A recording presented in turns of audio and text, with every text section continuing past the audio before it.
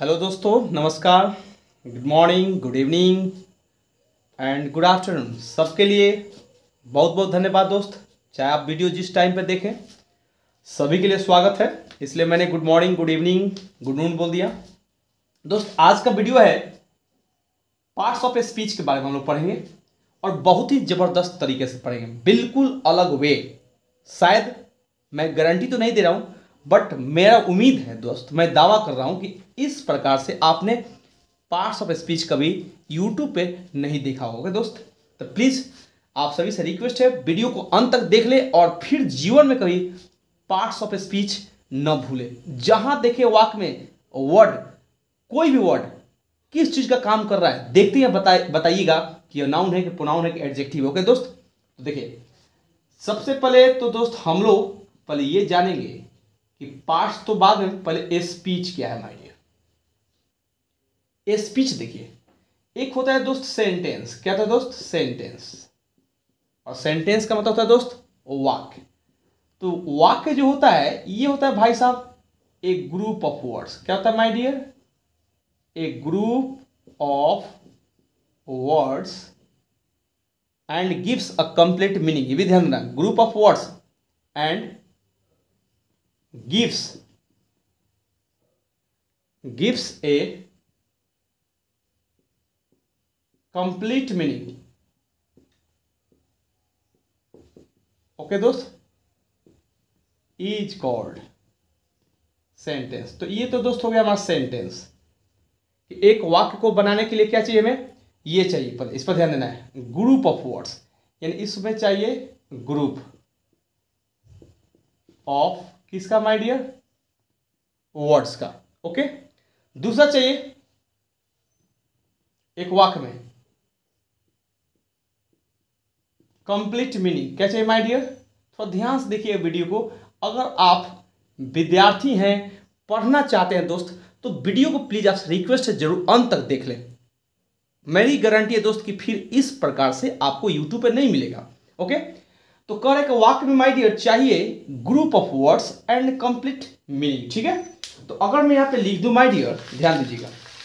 इसको चाहे तो स्क्रीन ले लीजिएगा कि इस पर थोड़ा ध्यान दीजिएगा। ये अगर नहीं भी रहेगा तो काम चलेगा। सिर्फ़ मेरा काम किससे चलने वाला है? कि ग्रुप ऑफ़ वर्ड्स क्या चाहिए दोस्त? ग्रुप ऑफ़ वर्ड्स ये ध्यान देना है कि इस पर रहेगा group of words and complete meaning तो सेंटेंस के लिए माय डियर हमें चाहिए यहाँ पे देखिए, एक शब्द मैंने लिखा बॉयज़ आर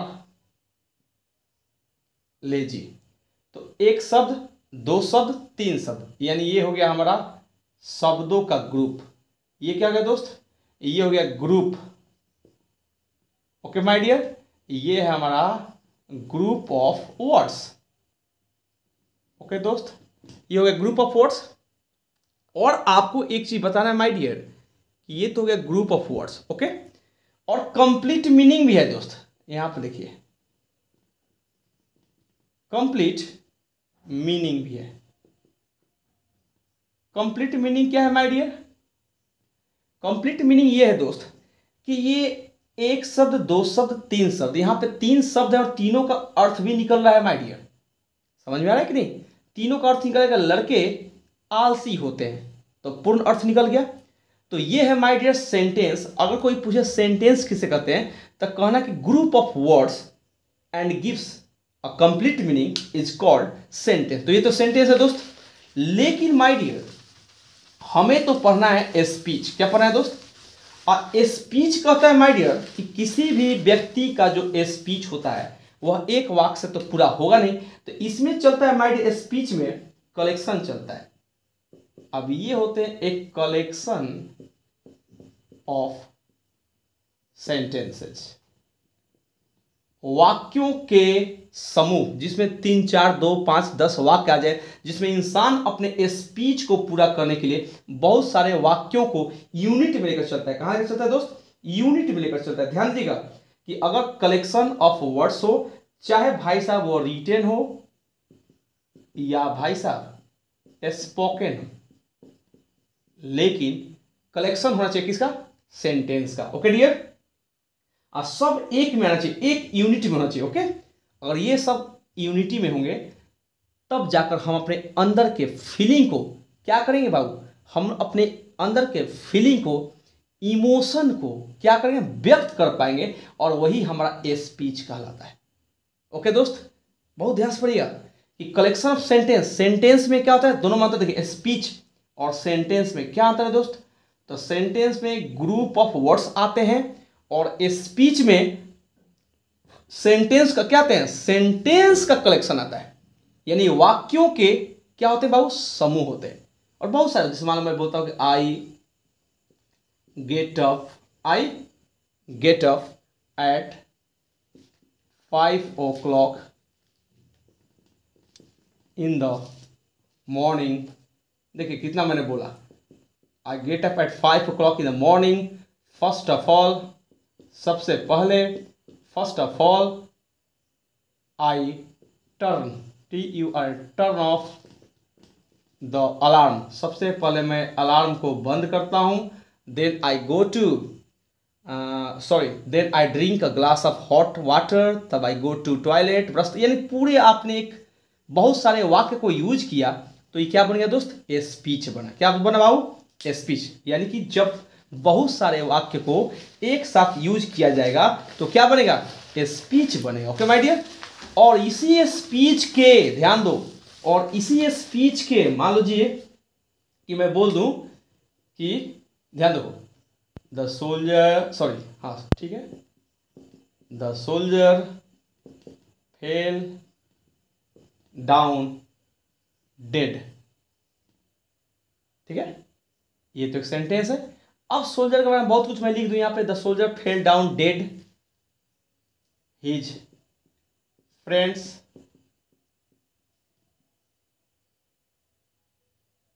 his friends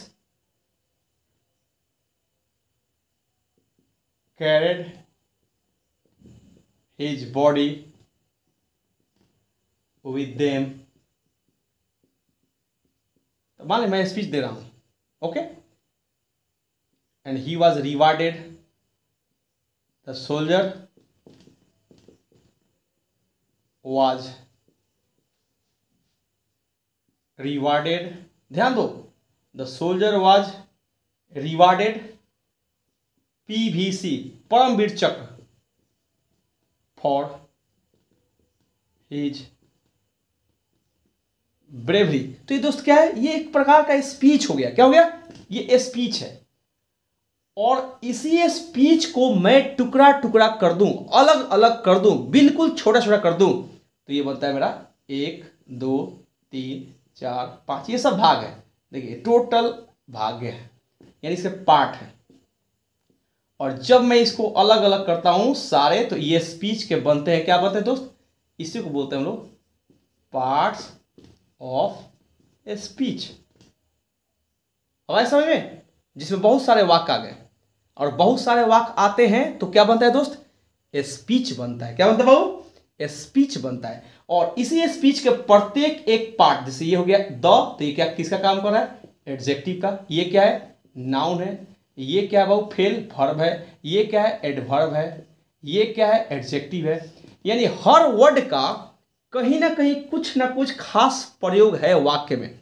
कुछ ना कुछ प्रयोग है और इसीलिए लोग कहा कहा है, क्या कहा बाबू?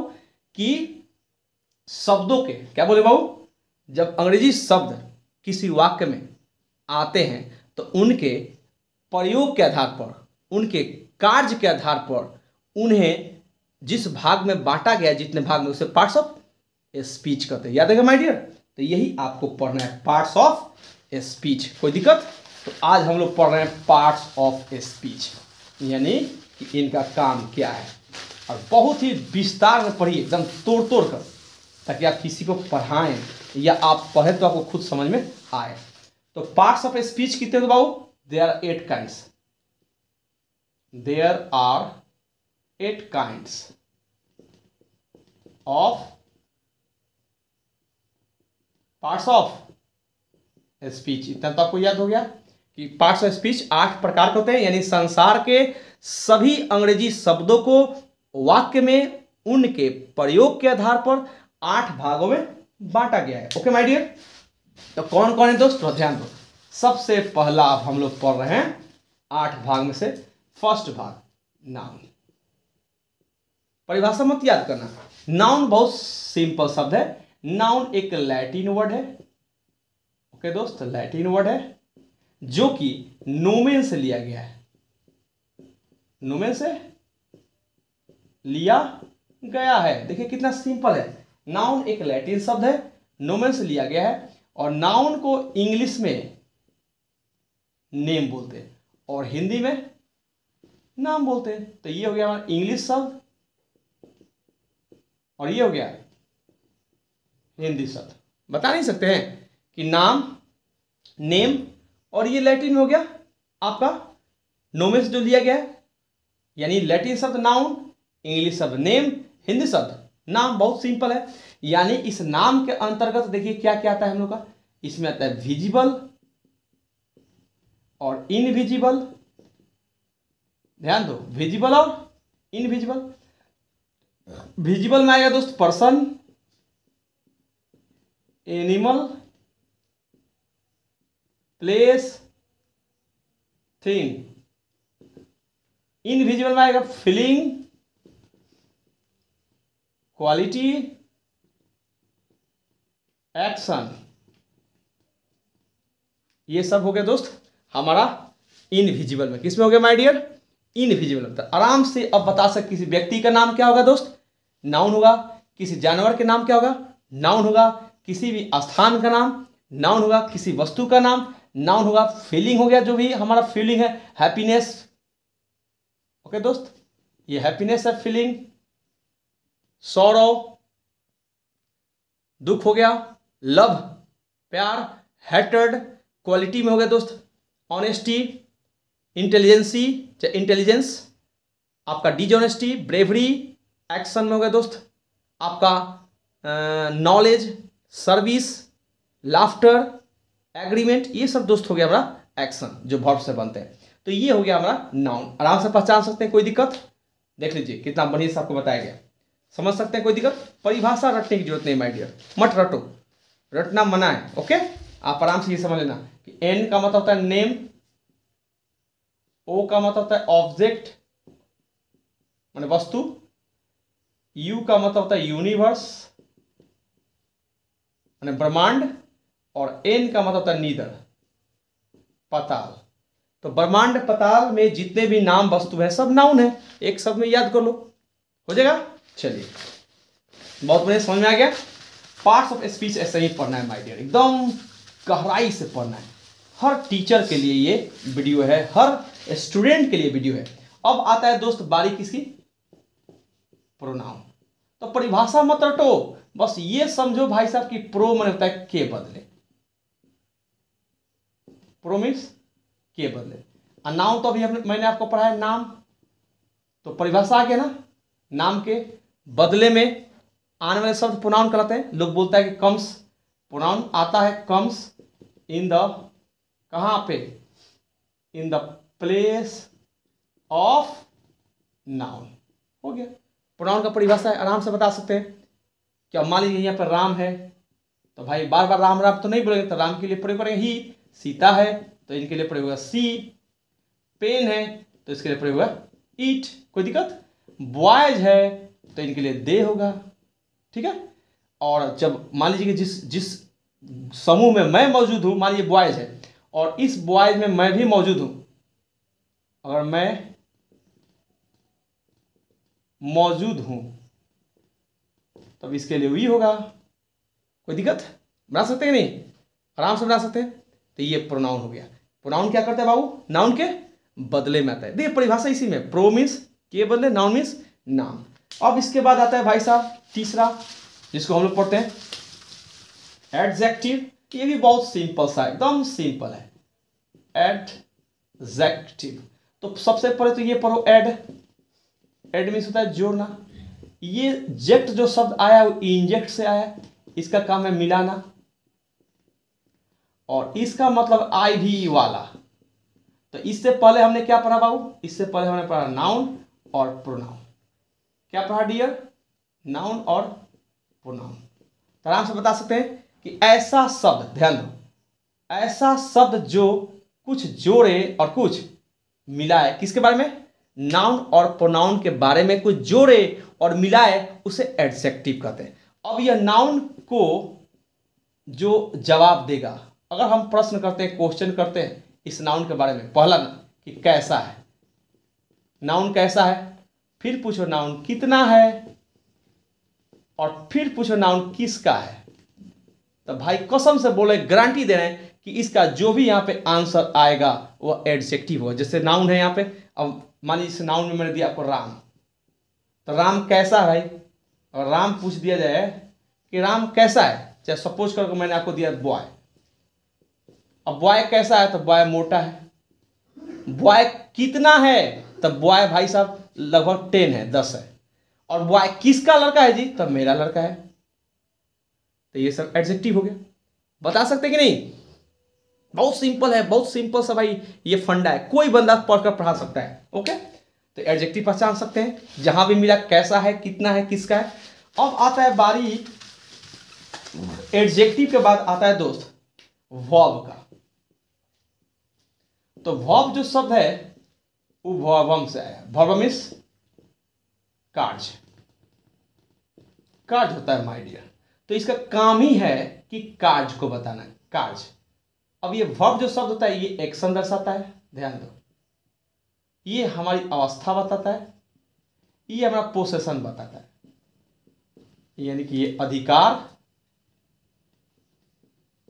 ये बताते हैं अवस्था और ये कार्य अब काज का मतलब दोस्त, इसमें आता है गो कॉम रॉन प्ले अवस्था is am are was were ये सब आता है वर्ब टू बी और ये अधिकार होता है दोस्त हैज़ हैव हैड कोई दिक्कत? ये अवस्था हो गया, मैं कैसा हूँ? मैं मैं एक शिक्षक हूँ, चाहे I am good I am fine तो इस प्रकार से वर्ब होते हैं। जो वर्ब का काम ही होता है, क्या बताया दोस्त? कि कुछ, दो चीज़ का बहुत होता है, याद रखना। कुछ होने तथा कुछ करने। यही बोध कराता है, कुछ होने और कुछ करने। जैसे मैं यहाँ पे कर क्या रहा हूँ तो आई टीच मैं पढ़ाता हूँ। तो ये हो गया मेरा करना। ये क्या होगा दोस्त? ये हो गया करना। और मैं क्या हूँ? तो आई एम ए टीचर ये हो गया मेरा कुछ होना। ओके ये हो गया करना और ये हो गया होना। इस प्रकार से भर्व क्लियर एकदम एक एक शब्द में समझिए। पार्ट्स ऑफ़ स्पीच बहुत ही सिंपल तरीका से ओके अब आता है भाई साहब। भर्व के बाद एक बारी आती है, जिसका नाम है एडवर्ब बहुत आसान होता है भाई साहब। क्योंकि इसको भी पढ़ना है तो एड मीन्स जोड़ना। और भर मीन्स क्रिया कितना आसान है भाई। समझ में आ रहा है कि नहीं कुछ? एकदम लग रहा है वीडियो देखकर तुम लोग थम गए हो। वीडियो देखकर अवाक हो चुके भाई, क्या हो रहा है? एड मीन्स जोड़ना भर मीन्स क्रिया। अब क्रिया में कुछ भी जोड़ना भाई एड समथिंग अबाउट वर्ब के बारे में कुछ जोड़ दो। अब मैं सोचो कि मैं रन कर रहा हूँ, दौड़ रहा हूँ। तो अगर मैं रन कैसा कर रहा हूँ? मैं कैसा दौड़ता हूँ? कैसा दौड़ता हूँ? तो अगर मैं रन फास्ट कर रहा हूँ तो ये एडवर्ब है। अगर मैं रन स्लो कर रहा हूँ तो ये एडवर्ब है। असल में, अगर तुम बोल रहे हो स्पीक अगर तुम बोल रहे हो लाउडली ज़ोर से बोल रहे हो तो ये एडवर्ब हो गया आपका। अगर तुम स्लोली बोल रहे हो, धीरे से बोल रहे हो तो एडवर्ब हो गया। बता सकते हैं कि नहीं? आप धारा प्रवाह बोल रहे हैं फ्लुएंटली तो भाई, ये एडवर्ब हो गया। कोई दिक्कत? तो ये एडवर्ब है। क्रिया के बारे में कुछ जोड़ना है। लेकिन एक्चुअली में सिर्फ़ भर्व नहीं, ये ऐड करता है हमारा किसके बारे में? भर्व के बारे में एडजेक्टिव के बारे में और खुद एडवर्ब के बारे में। तीन चीज़ के बारे में विशेषता बतलाता है, जिसका नाम है एडवर्ब ठीक है? कोई दिक्कत? अब आइए। एडवर्ब के बाद होता है बहुत सिंपल सा टॉपिक भाई, बहुत आसान, जिसका नाम है एडवर्ब के बाद क्या होता है भाई? प्रीपोजिशन इसका काम बहुत ही आसान है। प्री मिस होता है पहले और पोजिशन मिस होता है स्थान। और इस स्थान में भाई साहब नाउन और प्रोनाउन ही आता है।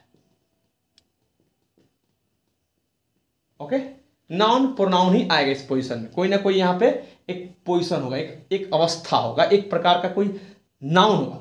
और जिसके पहले ही आएगा और क्या करता है पता है? सोज रिलेशन दर्शाता है। किसी दूसरे शब्दों के साथ, वाक्य के किसी दूसरे शब्दों के साथ रिलेशन दर्शाता है पोजिशन और याद रखना, ये जब भी आएगा तो नाउन प्रोनाउन नाउन प्रोनाउन जैसे मान लो कि अभी नाउन बताए थे प्रोनाउन बताए थे तो ये आगे से द पीपल ऑफ़ अमेरिका तो ये प्रिपोजिशन हो गया, और ये हमारा नाउन हुआ। ऐसा में ही केम विद मी तो ये प्रोनाउन हो गया और ये हमारा प्रीपोजिशन हो गया। ये है प्री पोजिशन और ये हो गया प्रोनाउन तो देख रहे हैं ना, कोई ना कोई नाउन या कोई ना कोई प्रोनाउन के पहले आता है। इस पर ध्यान देना है दोस्त। बहुत इंपॉर्टेंट चीज़ है। कहीं कहीं लड़के फंस जाते हैं। ये नाउन प्रोनाउन के पहले आएगा तभी प्रीपोजिशन कहलाएगा अगर नाउन प्रोनाउन के पहले नहीं आया तो ये प्रीपोजिशन नहीं होगा। जैसे यहाँ देखिए ही केम इन तो ये इन है। लेकिन यहाँ पे तो नाउन प्रोनाउन नहीं है। कोई नाउन प्रोनाउन नहीं है इसलिए यह प्रीपोजिशन नहीं है। यह एक एडवर्ब है। ऐसे में? बहुत सारे लड़के यहाँ पे फंस जाते हैं। बहुत सारे लड़के, ओके? ये समझना एकदम कंप्लीट करना भाई। अब कर रहे हैं माय डियर प्रीपोजिशन के बाद आता है बारी किसका? कंजंक्शन देख कितना अच्छा है, शब्द है। कन्विंस के साथ। कन्विंस और जो भाई साहब जंक्शन होता है, इसका मतलब है जोड़ना या मिलाना। जैसे कोई आप गाड़ी पकड़ते हैं पटना जंक्शन पे या दिल्ली पे या कहीं पे, इलाहाबाद या महाराष्ट्र में तो ये क्या करता है पता है? जंक्शन है कि यात्री को गाड़ी से मिलाता है। तो इसका काम क्या है? जोड़ना, मिलाना, यानी ज्वाइंस करता है। इसका काम है भाई साहब ज्वाइंस करना। Joins two words two words या सेंटेंसेज टुगेदर दो शब्दों को या दो वाक्यों को एक साथ जोड़ता है। जैसे, मैं और तुम।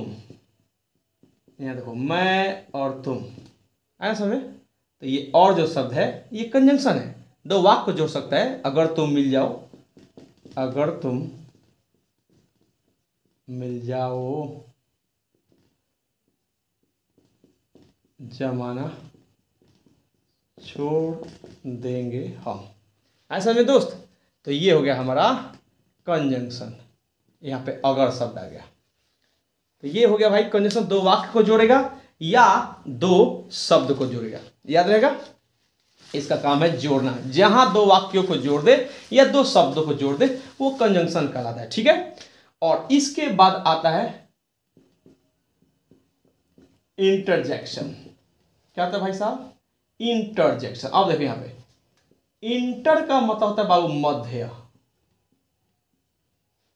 या भीतर भी बोल सकते हैं हम इसको। अंदर। आजेक्ट का मतलब होता है एकाएक। यानी कि अचानक फेंकना। जब अंदर की बात एक का एक बाहर फेंका जाए, उसको हम लोग बोलते हैं इंटरजेक्शन यानी कि ये क्या करता है भाई? यह एक्सप्रेस करता है, दर्शाता है, यानी एक्सप्रेस यह एक्सप्रेस करता है सडेन फीलिंग हमारे अचानक फीलिंग को दर्शाता है किस चीज़ का फीलिंग्स ऑफ़ द माइंड, चाहे ऑफ़ आवर माइंड बोल सकते हैं या ऑफ़ द माइंड बोल सकते हैं। यानी कि माइंड में कुछ भी बात है और एक एक बाहर आ गया, जैसे मैं क्रिकेट खेल रहा हूँ और एकाएक मैंने छक्का मारा, मैच जिता दिया तो मेरे सारे दोस्त बोलेंगे, वाह, हुर्रा। क्या बोलेंगे दोस्त? हुर्रा। मैं चल रहा हूँ, पैर में चोट लग गया उंगली फूट गया, खून बहने लगा दोस्त, मैं बोले, ओह, ठीक है? कोई बोलता है अल्लाश हाय। ये सब दोस्त हमारे इंटरजेक्शन होते हैं। तो ये बाबू हमने आठों पढ़ा पार्ट्स ऑफ़ स्पीच तो कैसा लगा आपको, समझ में आया होगा दोस्त? तो ये था हमारा बेसिक पहले, हमने समझा बेसिक पढ़ाई पार्ट्स ऑफ़ स्पीच के बारे में, ठीक है? अगर आप एडवांस पढ़ना चाहते हैं तो वीडियो पर बने रहिए, आगे भी हम आपको बताएँगे। अगर अच्छा लगे माय डियर तो कम से कम आप लोग शेयर कीजिएगा अपने दोस्तों के पास और दोस्त ज़रूर कहिएगा कि वीडियो अच्छा लगे तो लाइक करें, सब्सक्राइब करें और अपने दोस्तों में भाई बताएँ कि शुरू से पढ़ाई हो रहा है तो इसलिए आप लोग लाइक करें, सब्सक्राइब करें। ओके दोस्त तो थैंक यू वेरी मच फिर मिलते हैं हम लोग अगले वीडियो में। तब तक लिए मोस्ट वेलकम और देखते रहिए। ओके। जय हिंद, जय भारत।